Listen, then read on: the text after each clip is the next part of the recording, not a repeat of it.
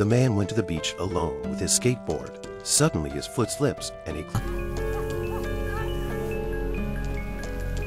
clings to the ground with all his strength. But the fine yellow sand can't hold the man's weight. He slips again and behind him is a dangerous cliff. Luckily, he grabbed the sand again and stopped. Suddenly, the phone in his backpack rings. In such a dangerous situation, he grips the ground with his left hand and unzips his backpack with his right.